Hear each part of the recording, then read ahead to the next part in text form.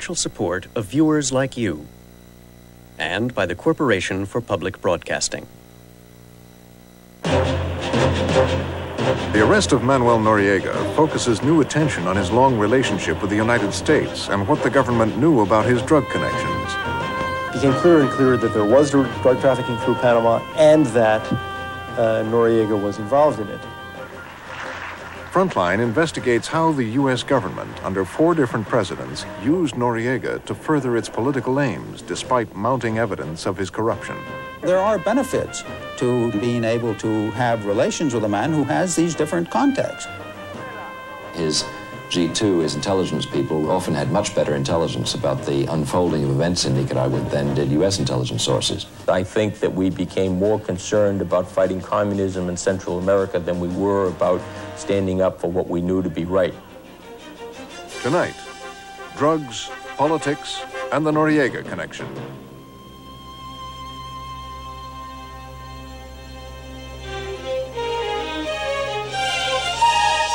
From the network of public television stations, a presentation of KCTS Seattle, WNET New York, WPBT Miami, WTVS Detroit, and WGBH Boston.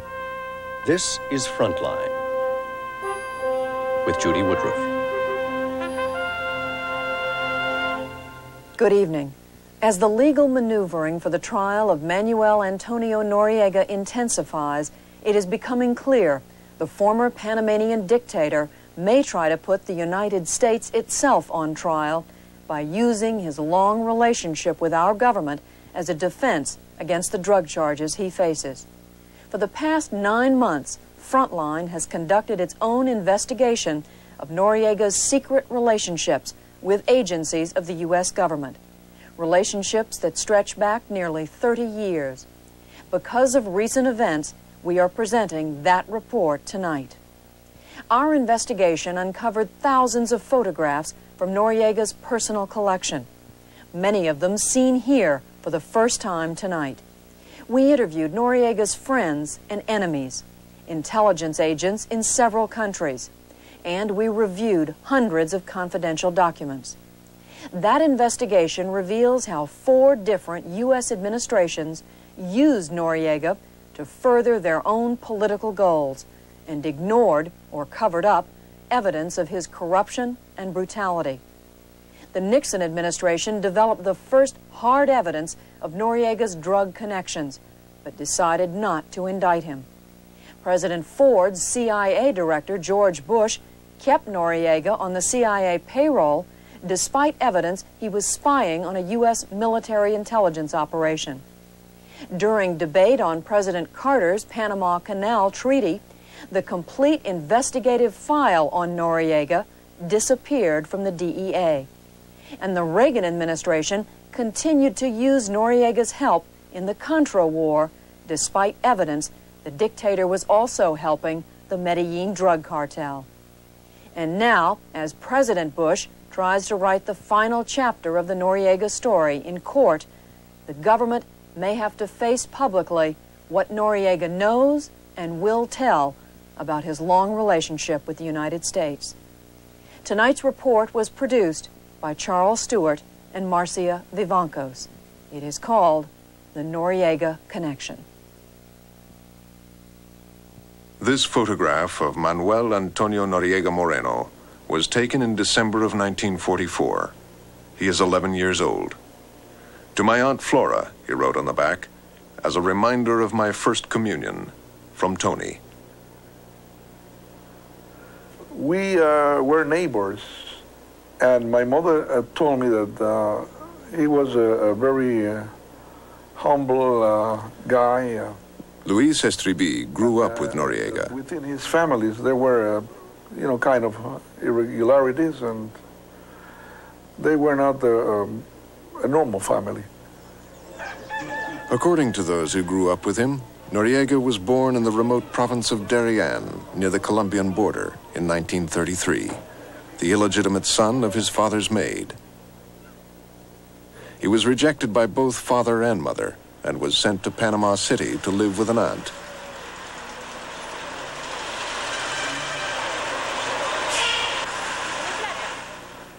Department of Defense Biographic Report. Confidential. Name Manuel Antonio Noriega Moreno. Nickname Tony. Civil education. The National Institute. Graduated with diploma. University of Panama. Non graduate. In high school, Noriega wrote that he wanted to be a psychiatrist and then the president of Panama. His 1952 yearbook shows a less serious Noriega playfully strangling another student. I met Noriega when uh, he was a youngster, very uh, peaceful and quiet. I dare say that the only exception to this uh, otherwise uh, very normal temper was when we came across with the police fighting in the streets. Then it was one of the more brave, the one who threw more stones to the uniformed people. That time, uh, we could swear that he will never be one of them. Noriega's half brother, Luis Carlos, was in the foreign ministry at the time, and he passed information on to the CIA. Noriega, who had joined the socialist youth movement, gathered information on its members for his brother to give to the Americans. At age 25, he applied for a scholarship to a military academy in Peru. He was too old to be admitted, so he lied about his age. By now, Noriega was dealing directly with American military intelligence, and he passed on information concerning his fellow students.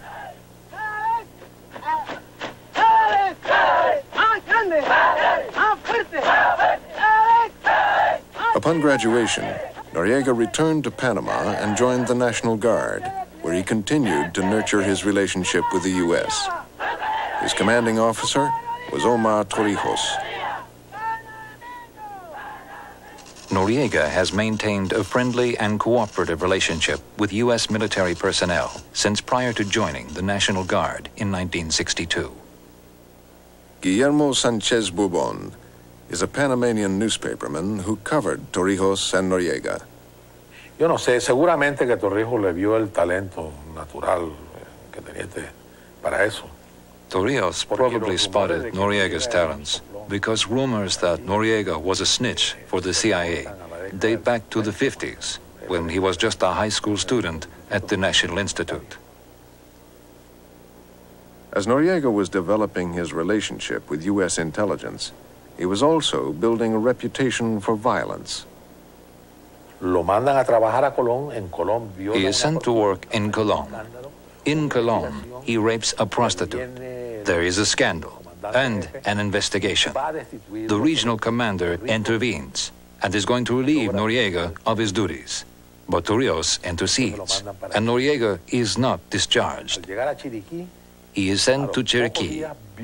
A few days after his arrival, he rapes a 13 year old peasant girl. He beats up the girl and her little brother to the extent that they end up in the hospital. Another investigation is conducted, and again, Torrijos intervenes and saves him. At the time, Panama was flourishing with the presence of Americans and their investments. Panama Canal was shipping millions of tons of American goods through its locks, and the stability of the country was critical to U.S. interests. But the Americans were worried about communist inspired revolution.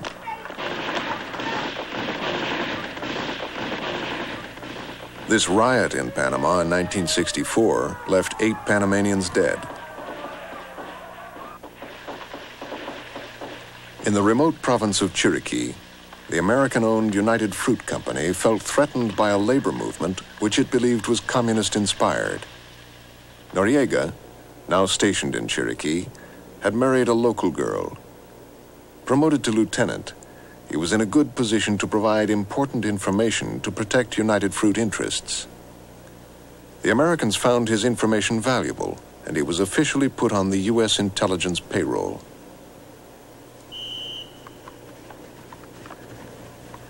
He was chosen for advanced training at the United States School of the Americas, but he did not do well. Out of 60 Panamanians enrolled, he finished 59th. In one course, according to his report card, he scored five out of a possible 100 points because he got lost in the jungle. He performed better when it came to espionage.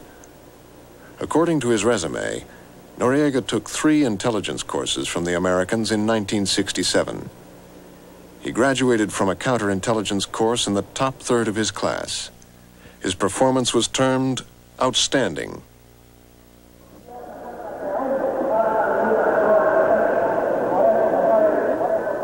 In 1968, in a military coup, General Omar Torrijos became the first dictator in Panama's history. He spoke in favor of social reform and against the rich and powerful. He would become immensely popular, but within 14 months, a military coup was staged against him.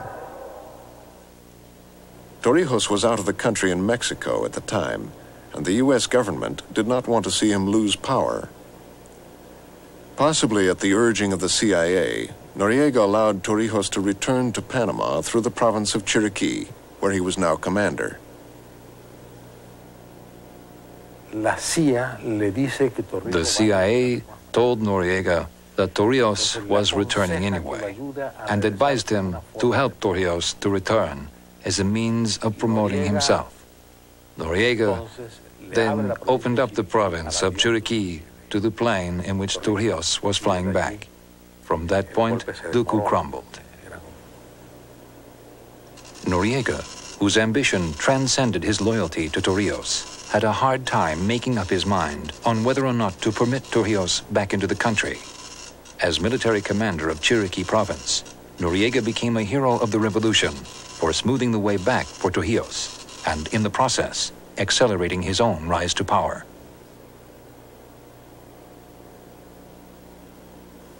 Although Torrijos was aware of Noriega's reputation for brutality, he rewarded him with the all-important post of head of military intelligence, known as G2. It was during this time, the early 1970s, that Mayín Correa was working as a journalist in Panama. She had become good friends with Torrijos, who was now firmly in place as Panama's leader. And what I think is that Torrijos did not have the guts to do some things that dictators need to do, which is repress, torture, kill, be tough. Noriega is the tough hand of the dictatorship. Torrijos is the nice human face, the nationalist. Noriega tried to censor Correa's news stories, and she complained to Torrijos. Every time Torrijos saw me, he said, don't talk like that about Noriega, he's going to kill you. That guy's mean. Don't talk about him. Listen what I'm telling you. He always take me apart and, and tell, don't say it. those things. He's going to get you, he's going to kill you. This son of a bitch is mean. Our goal is the unconditional surrender of the merchants of death who traffic in heroin. In the early 1970s, Richard Nixon declared a war on drugs, the first president to do so. Law and order issues were important to Nixon, and drug smuggling was to be a new and important battleground. Federal agents suspected Panama was a source of marijuana and a transshipment point for heroin, and they suspected Torrijos and Noriega were involved.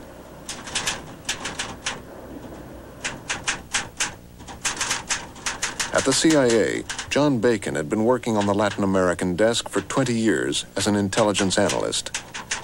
In a special arrangement, he was loaned to the Bureau of Narcotics and Dangerous Drugs in 1971. We used a working hypothesis that Noriega was probably dirty. That is, he was probably involved in uh, protecting the narcotics traffic, either marijuana, heroin, cocaine, that anyone who wanted to be engaged in drug trafficking in Panama or through Panama as transit point uh, had to come to terms with Noriega. Diplomatic relations were already strained over negotiations concerning the canal. But the State Department was not pleased with certain efforts by the drug agents in Panama. Omar Torrijos' brother had been indicted for trafficking in heroin, and the Justice Department was about to arrest him. Under orders from the State Department, the ambassador to Panama at the time, Robert Sayre, warned Torrijos' brother of his imminent arrest, and he avoided capture. Agents were also after Noriega. In Miami in the fall of 1971, a drug smuggler was looking for a boat to go to Panama to pick up 400 pounds of marijuana, known as Panama Red. Federal drug agents learned of the trip and two CIA contract agents were asked to provide the boat and go along undercover. In Panama, Noriega showed up in person for his payoff. The eyewitness accounts were corroborated when federal agents found Noriega's name and telephone number in the drug smuggler's address book. Was the information concerning Noriega considered hard evidence? Yes, it was hard evidence and it was uh, sufficient for indictment. The evidence consisted of an, eye, two eyewitnesses reporting that placing Noriega at the scene of uh, a drug transaction in which he received money for his protection for the movement of marijuana out of Panama. The former director of the Bureau of Narcotics and Dangerous Drugs, John Ingersoll, declined to be interviewed on camera, but he confirms that the information collected against Noriega at the time was hard evidence. But no indictment was forthcoming. Ingersoll says the Justice Department wouldn't indict someone they felt they couldn't bring to trial. Bacon says there was also a conflict with the CIA. Yes, there is a conflict, that there are priorities, that here is a, a man who's a, a, a drug dealer who is at the same time uh, being used to further U.S. interests in other fields.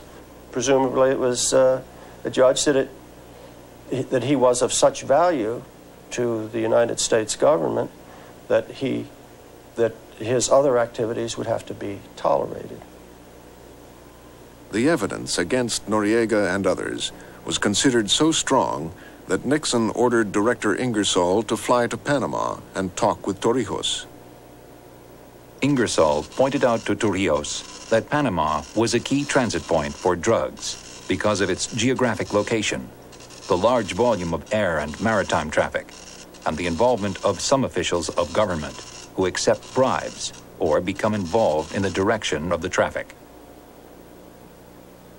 I know that uh, Noriega was aware of what was going on. I know that Noriega uh, was uh, very upset and piqued with uh, Ingersoll. But Torrijos paid little attention, and a frustrated White House ordered the Bureau of Narcotics and Dangerous Drugs to come up with a full list of options on how to get rid of Noriega. It included leaking information about Noriega's drug dealing to the press, leaking false information to Torrijos that Noriega was planning a coup against him. Of six options discussed, the last was the most extreme. Among these options was one to assassinate Noriega. It went that far. There was that much. There was there was uh, consideration. It was put it was put on the table as a possible way, one possible way among others, of dealing with Noriega, of solving the, the problem of Noriega as a um, threat and to the, uh, we, we consider this a national security problem. Director Ingersoll immediately rejected the assassination option, and it was never implemented. But according to former federal investigators and a former CIA official, that decision further frustrated the White House, which then ordered one of their own people from the infamous Plumbers Unit to go to Mexico and await orders to assassinate Noriega. He was sent out of this country on, en route to Panama to assassinate, to await orders to assassinate Noriega. And he was called back. No one involved in the White House decision would comment on the assassination option. As federal agencies debated what to do, U.S. drug agents were thrown out of Panama and their office closed in 1972. They were eventually allowed back, but the State Department would now coordinate all their activities to avoid further diplomatic embarrassment. And Torrijos insisted that all drug investigations had to be coordinated with the head of military intelligence, Manuel Antonio Noriega. In 1974, Watergate forced Richard Nixon from office and pushed the war on drugs onto the back burner.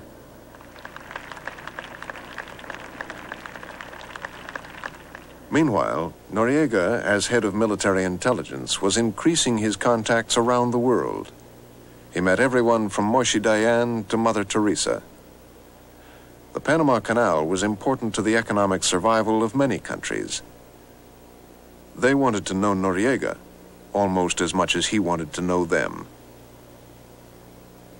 Although his record of association with U.S. military goes back over 15 years, Noriega maintains open channels with Cuban, Soviet, Chilean, and other political representatives. To the U.S., Noriega's dealings with Fidel Castro were the most troublesome. Castro found Noriega very useful, from circumventing a U.S. trade embargo to gathering intelligence to gun running. Manuel de Beunza worked for Castro as a member of Cuban intelligence for over 20 years. He defected well, two years uh, ago. Panama is very important to Castro. Uh, first, because uh, through Panama, he obtained all the material uh, United States uh, has in embargo.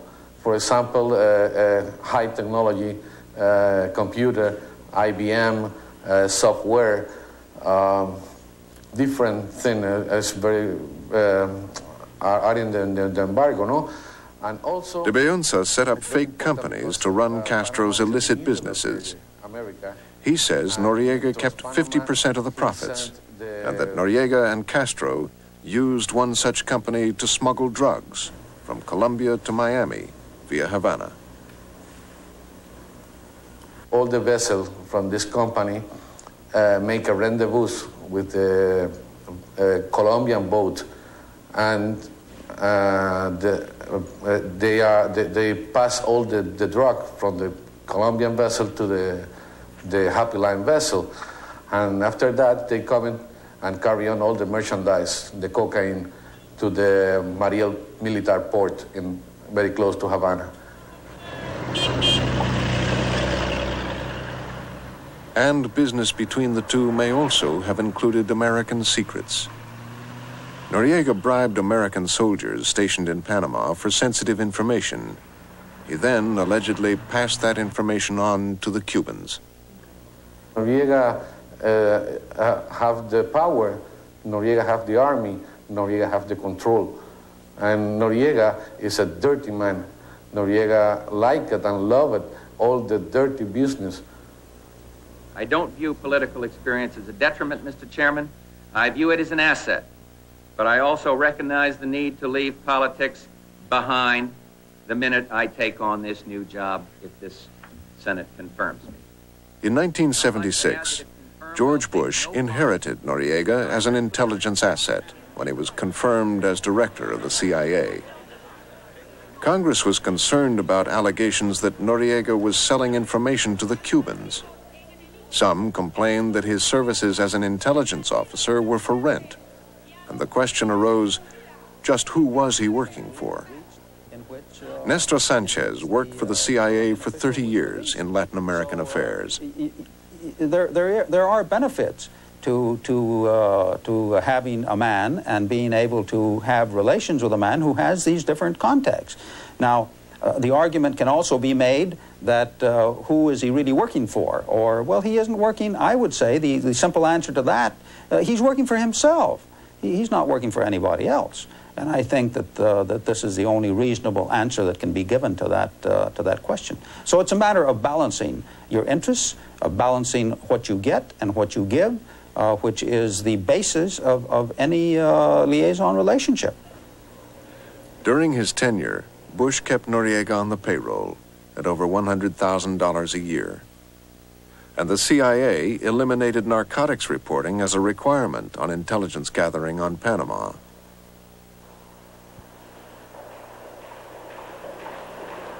Noriega was given a VIP tour of the CIA, and Bush and Noriega met to discuss a smooth transition to the new president, Jimmy Carter. But the Carter administration reached a different conclusion about Noriega. At first, his drawbacks simply outweighed his benefits to the U.S., and he was dropped from the payroll. But not for long. Ambler Moss went to Panama to be ambassador in 1978. And, uh, and of course, Noriega was designated to be the go between between the Panamanian military and various U.S. agencies, such as the CIA, the DEA, the FBI. Uh, I wondered sometimes when Noriega had had a chance to get a lunch break because he was working so many U.S. agencies at once, and this was completely on an official level. I mean, he was he was the designated person to be the liaison for this, and at the same time, his G2, his intelligence people, were very very useful to Torrijos um, in such operations as, for instance, finding out what was going on during the Sandinista Revolution in 1979. They, I'm, uh, Uh, I'll be free in admitting, often had much better intelligence about the unfolding of events in Nicaragua during the revolution than did U.S. intelligence sources. We are here to participate in the signing of treaties which will assure a peaceful and prosperous and secure future for an international waterway of great importance to us all. By the late 1970s, U.S. Panamanian relations were at a peak. The Canal Treaty was finally being signed by Jimmy Carter and Omar Torrijos.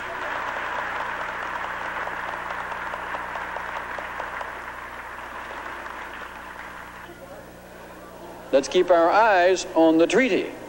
And in the, in the final judgment of this Senate, but ratification of the Canal Treaty by the Senate would not be easy. Some conservative senators vehemently objected to giving up an asset as important as the canal. If, in fact, the allegations are true, and there is some drug trafficking by Torrijos, can he be trusted as a guarantor of the treaties, and is he trustworthy and is he credible? The conservatives used allegations about drugs to try to win votes against the treaty. In October of 1977, Senator Robert Dole filed a specific request under the Freedom of Information Act for all DEA files relating to Panama. The DEA first claimed the files were irrelevant to the debate, said one of Dole's former staffers. Then they stonewalled us. Dole would never receive the complete files. I collected them. I went down to the file room. I put them in boxes. You gave them to whom? I was told. I turned them, turned them over to uh, DEA's chief counsel. By now, John Bacon had joined the Drug Enforcement Administration full time. He had been ordered to turn over all intelligence files on drug dealing in Panama, and he was specifically ordered not to make any copies. My speculation is uh, what this, what I believe is the most probable, is that uh, since this was during the congressional debate on the Canal Zone uh, Treaty, which was being uh, debated at that time, that uh, the Carter administration did not want information damaging to consideration of the treaty to be made available. Uh, we were told that that a request had been received from members of Congress for derogatory information relating to uh, Noriega and other members of the Panamanian government. Congressional sources say the complete files never reached the senators debating the treaty. Bacon says they completely disappeared. Were the files returned to DEA? They were never returned. To this day, there's a, a great gap of information. Um, the information that originally could have uh, been used as a basis for indicting Noriega in 1971 is no longer available. It disappeared. The former DEA officials who gave Bacon the order say nothing is missing. One of them admitted that he took the classified files home, but that they were promptly returned and then given to the Senate Intelligence Committee, which reviewed the complete files. But in the committee's report, there is no indication that it had access to those files which would have included the hard evidence developed against Noriega in 1971. the committee cannot say, on the basis of narcotics intelligence information alone, that a given Panamanian official has or has not engaged in narcotics trafficking. Uh, no one involved in the collection, no one who was aware of it could, uh, uh, could react in any way other than to be appalled or astounded. This was a terrible thing. It uh, make this huge gap. Uh, a number of, of uh, drug investigations simply had to be stopped because the, the, uh, the files were not there. And investigations into Noriega stopped? We could not carry on any investigations relating to Panama because all of, none of the files were available.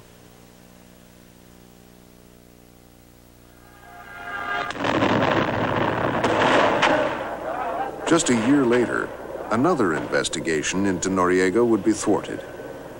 In 1979, as the Sandinistas were fighting to overthrow the Somoza government in Nicaragua, some of the guns used in the rebellion were traced here to Miami. Evidence was gathered which showed that the weapons were being purchased by Noriega. But Jerry Sanford, an assistant U.S. attorney, was having a hard time with the State Department about the investigation. The State Department seemed to leave its footprint pretty close to, uh, to the law enforcement activities, uh, if not stepping on our toes.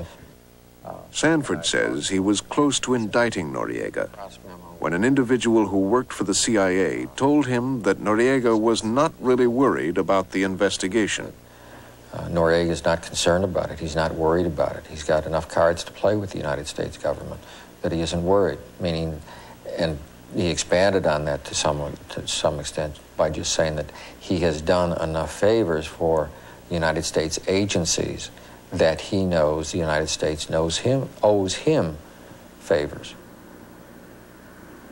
The U.S. Attorney's Office in Miami sent a prosecution memo to the Justice Department, where it sat for several months. Justice came back and said, gee, we lost your pros memo. Uh, can you send us another one? So another one went up, and a few more months passed, and eventually, uh, as I recall somebody's words, whether it was somebody from the U.S. Attorney's Office in Miami or at the Justice Department, the case just got too cold, and nothing really ever happened. The Carter administration would not indict Noriega. The reason, Sanford was told, was that Noriega was too important to the national interest. Panama had recently given sanctuary to the deposed Shah of Iran. Noriega was in charge of his security, and any further investigation would be embarrassing. Gets to be very frustrating because you feel that you are performing your oath of office, that you're going to obey the laws of the Constitution of the United States of America and all the laws of the United States of America. And then when you do try to do it, you find yourself thwarted at times by the foreign policy considerations that seem to take uh, precedence over the law enforcement.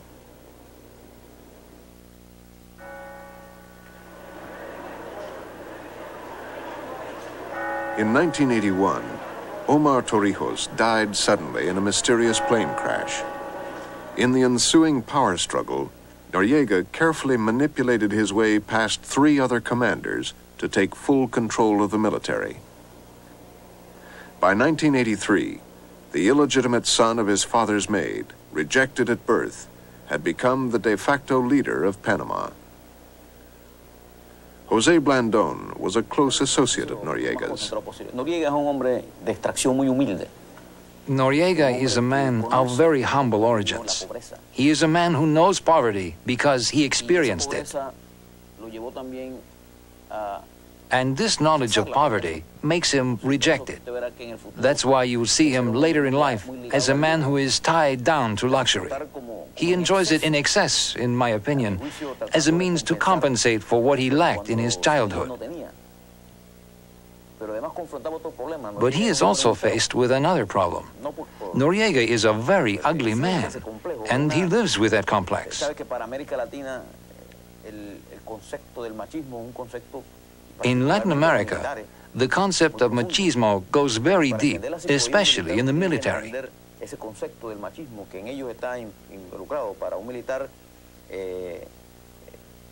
Because for a military man to have many women is synonymous with strength and capability. Noriega con ese complejo de feal- fealdad eh, tenía el problema de la conquista de mujeres. So because Noriega is ugly, he had problems conquering women because he was rejected. Pero un hombre que también sabe estudiar las debilidades de las personas. But he is also a man who knows how to study people's weaknesses. A great part of Noriega's advancement is due to the fact that he works on people's weaknesses. I know him personally. I think he's a person uh, without any ideology at all. I've never seen any evidence that he has an ideology of the left or the right, anything like that. It's very pragmatic. Um, and I would say that even though he has been in this uh, position of power since August of 1983, and uh, in the position of, of defying Washington, and successfully all through 1988 and into 1989, that I would say uh, that he's not a person who has sort of a messianic sense of his own destiny the way Latin American dictators often have.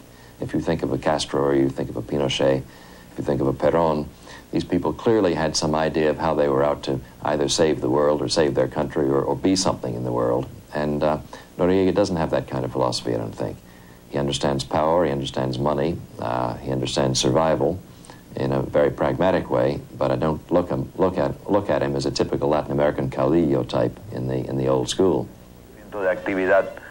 In a candid moment, Noriega spoke to a reporter from Colombian television. What's General Noriega like? What's he like? Just like you see me. Peaceful? sin complicaciones. Me gustan las cosas Not complicated. I enjoy simple things. Complicated things tangle me up. Yo, yo soy ingeniero militar. I am a military engineer, and I used to get headaches every time we used logarithms or studied astronomy. Astronomía, todas esas cosas así tan Complicated things are against my nature. no van con mi naturaleza. Eh, me gusta. Me gustan I like jokes. Las bromas, el trago. Drinking, good fun. Eh, and work. You're telling me about those things you like. Uh, tell me about what you don't like. Que me jodan. I don't like people to screw with me. I truly believe the history of this century forces me to believe that to do nothing in Central America is to give the first communist stronghold on the North American continent a green light to spread its poison throughout this free and increasingly democratic hemisphere. The Reagan administration redefined the national interest as combating communism, and Noriega made sure to ingratiate himself with the new president by doing whatever he could to help. In 1983, when the U.S. invaded Grenada, Vice President George Bush reportedly asked Noriega to call Fidel Castro and warn him that it would be against Cuba's interest to become directly involved. Bush denies he made the request. Castro described the call from Noriega in an interview on Panamanian television. On the day of the invasion during the dawn hours, when the combat was going to take place and our personnel was surrounded by Yankee troops, General Noriega made an effort to reach a ceasefire. Two months later, Bush and Noriega met in Panama. A source who was present says they discussed the Contra War. Bush denies it. But Noriega would do whatever he could to help the U.S. and its war against Nicaragua.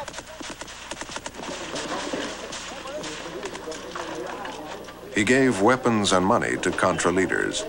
And according to Elio Camarena, a former lawyer for the Panamanian Defense Forces, at the request of the U.S., Noriega allowed the Contras to train in Panama. Sí. Esa reunión se desarrolló en, el, en Quarry High, sede del At Quarry Height headquarters of the American military in Panama, General John Galvin met with Noriega and, in my presence, stated the need the Southern Command had for a remote area outside of the U.S. bases for the training of the Nicaraguan Contras. According to information from the trial of Oliver North, Noriega also helped blow up an arsenal of weapons in Managua in 1985. And according to sworn congressional testimony, one of Noriega's partners, the elusive Mike Harari, a former secret agent of the Israeli intelligence service, set up an arms distribution network which included the Contras. Ese es el dirigente que asume el país, la dirección en 1983. In 1983, Noriega is the leader who assumes the power to lead the country, coinciding with the political phenomenon which I have called the period of complete immorality. No one developed any concept of morals. Noriega, a man who lived in his own obscure world, engages at a time when the United States operate in Central America without morals. Their policy being, no matter what must be done, we must back the Contras. And if you back the Contras, no matter what you did, you are an ally of the United States. While Noriega was helping the United States to fight communism, he was pursuing his own interest in money by allegedly striking deals with the Medellin drug cartel in Colombia. Y claro, yo lo que Roberto Diaz Herrera was Noriega's second in command. By that time, although the officers didn't dare talk too much, because Noriega was already Noriega, there was a strong sense of cocaine in the air, near headquarters. In addition to his alleged drug dealing with Fidel Castro, two of Noriega's former associates say that Noriega allowed the cartel to build a cocaine lab in Panama in return for a payoff of several million dollars. And in 1984, when the Minister of Justice in Colombia, Lara Bonilla, was assassinated, several members of the cartel fled to Panama. Noriega gave them sanctuary. Augusto Villalaz was a major in Noriega's Air Force. I saw in Panama two of the drug lords. I saw Gacha and Escobar because they were both horse fans. They lived in Panama for a while after Lara Bonilla died. They were in hiding, but they would go see the horses, and uh, I would see them there because I am also a fan of that sport. Roberto Eisenmann is the publisher of the opposition newspaper in Panama. It is the first time in which the narco mafias have actually controlled the formal military institution of a country. And through that control, control the country. And then put the country at the service of the multinational criminal enterprise. Every country in the continent has a drug problem. Every country in the world has a drug problem. No other country in the world has this kind of problem, where the formal military institution, the uniformed authority, is actually controlled by the multinational narco mafias. But at the same time, Noriega was cooperating with the DEA in Washington, giving them information about drug traffickers. Sending drugs to the United States. Richard Gregory was an assistant U.S. attorney in Miami. He saw Noriega's cooperation as a ploy to divert suspicion from himself. Unfortunately, Panama was a place where when General Noriega didn't get his rent money for the month, he'd uh, give you up to the Drug Enforcement Administration. In fact, when I first came here, we used to have what we called Panamanian extraditions. And it was one of the few countries in the, uh, in the hemisphere where if they caught a drug dealer, they would put him on a plane to the U.S. and just ship him out. Despite the evidence of Noriega's own drug dealing, over a 10 year period, he would receive congratulatory letters from the U.S. government. Thank you very much for the autographed photograph. I have had it framed, and it is proudly displayed in my office. Your long standing support of the Drug Enforcement Administration is greatly appreciated. Best regards, Bud Mullen, Director, DEA. The DEA says that at the time, it had no hard evidence of Noriega's drug dealing. Better, the best to Latin But by 1985, evidence of drug dealing was being put forth publicly by Hugo Spadafora, a longtime Noriega critic. Spadafora passed his information on to reporter Sanchez Borbón at the opposition newspaper. Mientras tanto, él, como algunas otras personas, He, like others, starts to have serious worries about Noriega. Entonces, como él era amigo de un- los pilotos de Noriega, comienza a Since he had befriended Noriega's pilots, he starts learning about the magnitude of Noriega's involvement in the drug traffic. Good evening and welcome to the John F. Kennedy School of Government. We are pleased to have as our guest tonight General Manuel Antonio Noriega Moreno, the Commander in Chief of the In 1985, Noriega was still enjoying his role on the international stage.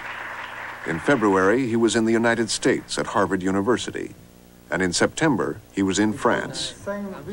While there, Noriega would allegedly order his forces to make an example out of Spadafora. What would happen to him was a warning to anyone else who would criticize Noriega. A decapitated corpse, presumed to be that of Dr. Hugo Spadafora, a former Vice Minister of Health under Panamanian strongman Omar Torrijos, but an avowed enemy of the present Panamanian military commander, General Noriega, was found on September 14, 1985, in Costa Rica, near the Panamanian border. Attorney Steve Schnably investigated for the Spadafora family.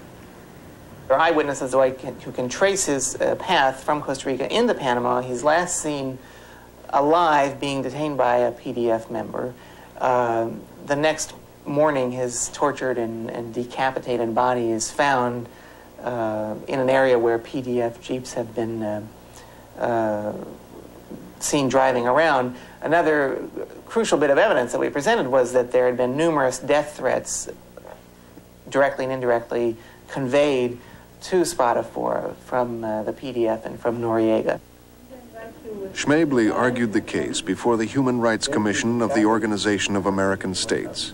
The OAS investigation found the government of Panama guilty, but it could not try individuals, and no one was ever charged.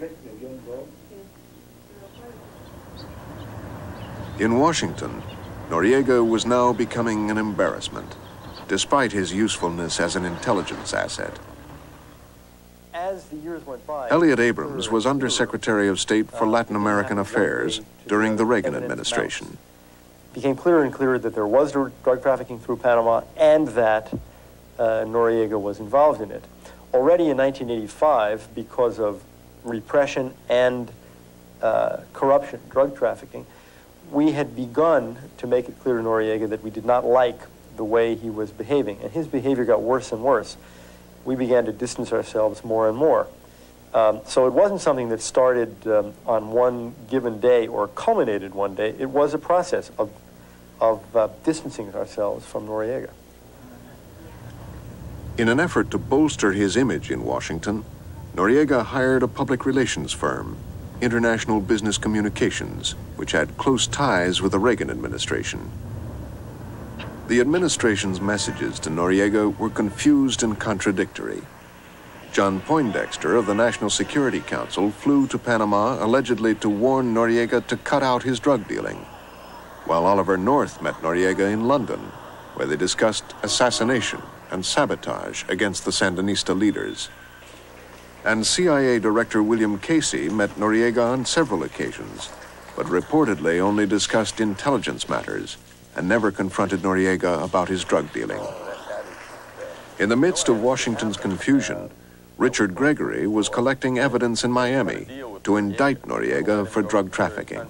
Uh, the more we dug into sensitive international areas, especially dealing with South and Central America, the more I found out that uh, the United States priority is not the narcotics traffickers, but rather it's the, uh, uh, the clandestine uh, affairs of our intelligence and foreign relations community.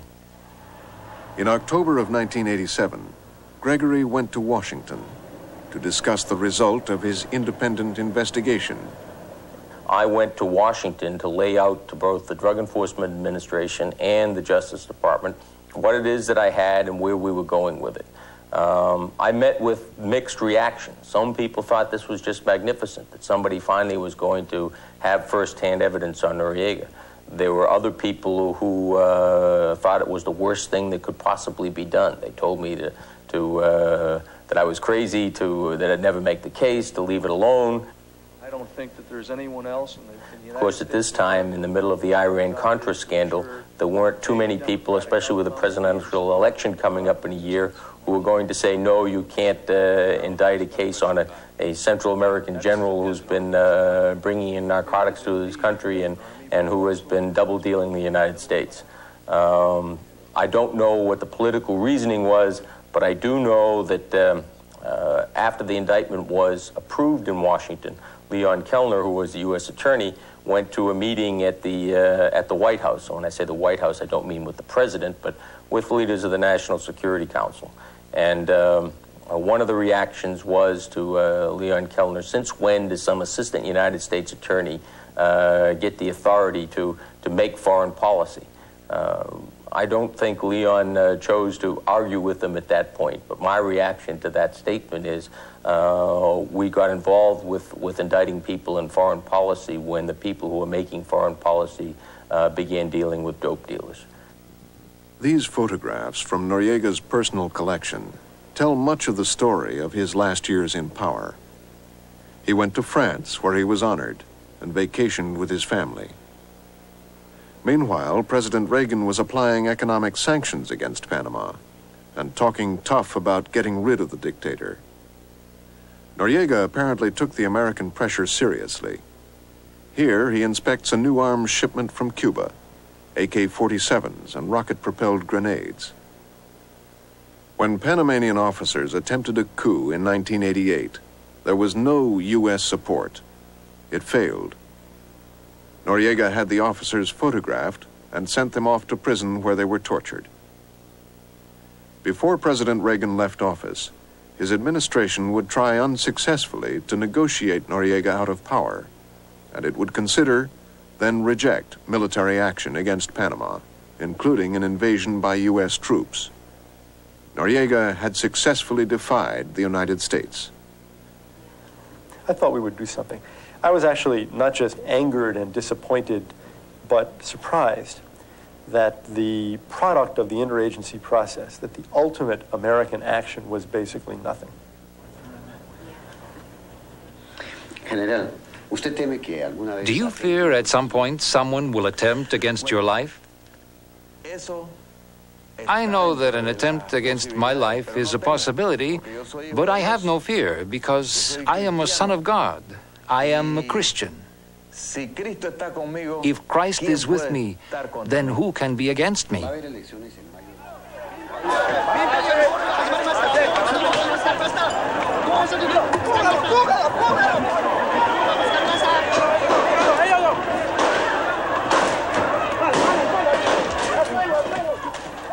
In May of 1989, Noriega overturned the results of the elections in Panama and ordered the beating of opposition candidates. President Bush responded by openly encouraging the Panamanian Defense Forces to overthrow Noriega. But in October, when officers staged yet another coup attempt, the Bush administration provided only limited help. The coup failed. President Bush's decision to invade Panama in December finally ended two years of confusion and indecision in Washington. As president, I have no higher obligation than to safeguard the lives of American citizens. And that is why I directed our armed forces to protect the lives of American citizens in Panama and to bring General Noriega to justice in the United States. President Bush had finally decided that the national interest required the U.S. to remove Noriega. But for nearly 30 years, as Noriega's power grew and evidence of his corruption and brutality mounted, the U.S. government had consistently concluded that the national interest was served by leaving Noriega in place and ignoring or hiding evidence of his criminal behavior. One former CIA official put it this way Over the course of the seven administrations that dealt with Noriega, the national interest was simply a matter of political convenience.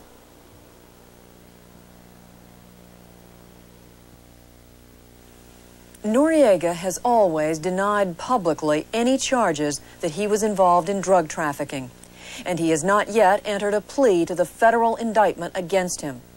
Noriega's attorneys continue to insist that the U.S. government seized Noriega illegally and therefore has no right to try him.